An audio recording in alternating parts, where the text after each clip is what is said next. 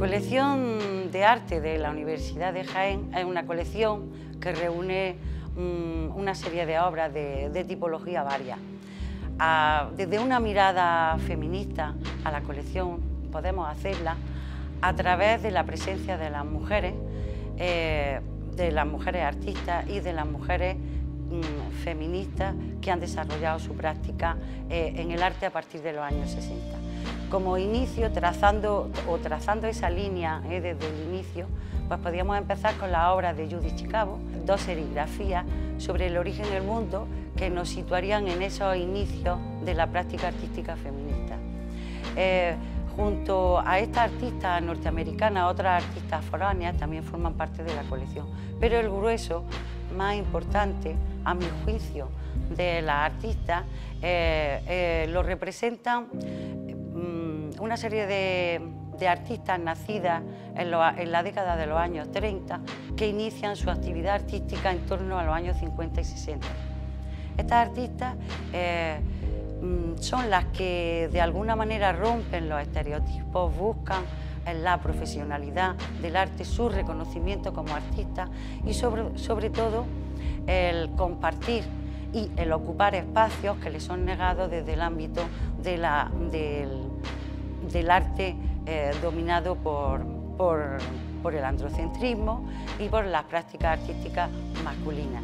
Eh, este conjunto de mujeres eh, forman parte de la colección mm, desde los primeros momentos que se, inicia, que se inicia la colección y provienen de los fondos del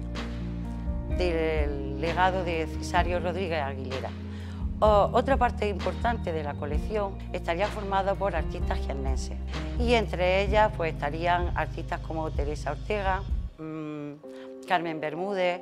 eh, Natividad Jiménez, mm, Carmen Montoro, eh, Lola Conde, y otras más jóvenes como el caso pues, de Valle Galera. Una de las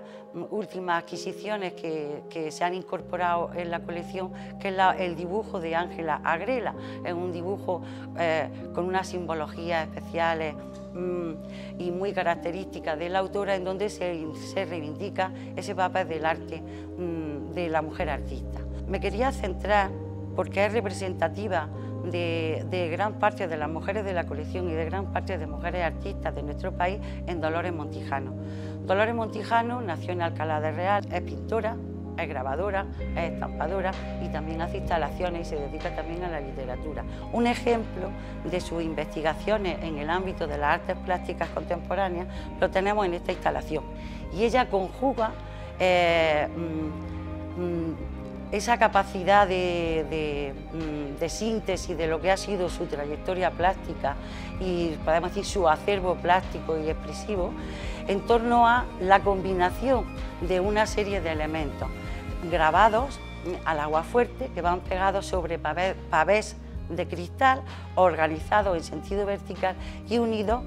por alambre de piano con eh, esta obra, Metamorfosis, la propia misma obra, ella nos, invita, como tiene costumbre, a, asomarnos a esa mm, imagen multiplicada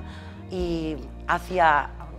que tiene fin hacia donde nuestra mirada se lo ponga ¿eh? y, precisamente la, capacidad de nuestra mirada de, metamorfosearse en torno a la propia obra a través de los espejos y de las distintas, y de las distintas reflexiones.